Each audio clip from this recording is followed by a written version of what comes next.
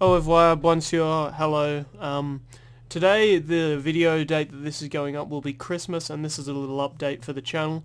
A lot of you would have noticed that we are not posting as frequently and that's uh, due to the holidays and we've had some minor issues.